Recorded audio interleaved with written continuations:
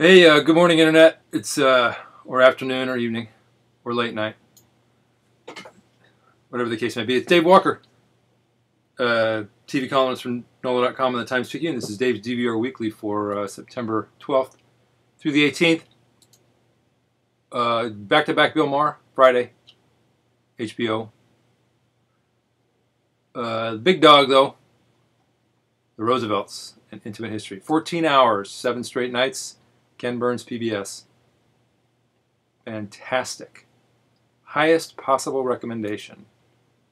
Um, I've watched it all. And actually, I uh, typed about it on my professional um, Facebook page, uh, Dave Walker on TV.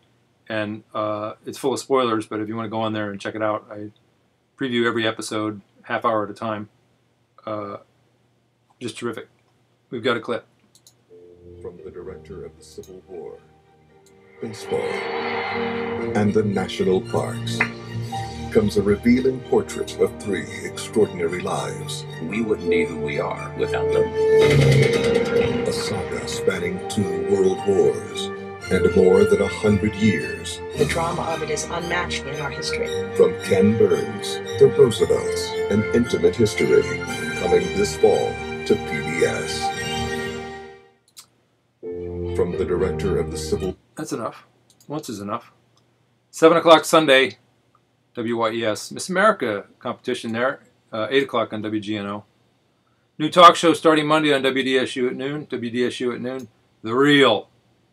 Dancing with the Stars. Got a couple local angles there. 7 o'clock Monday. You can see the Roosevelts continuing. Tuesday, uh, New Girl and uh, Mindy Project cranking up on WVUE.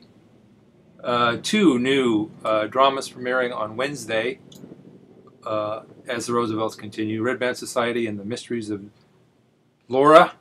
And you can uh, check out my previews of those new programs at nola.com slash TV. That's it. See you back here Monday. Have a good weekend. Bye.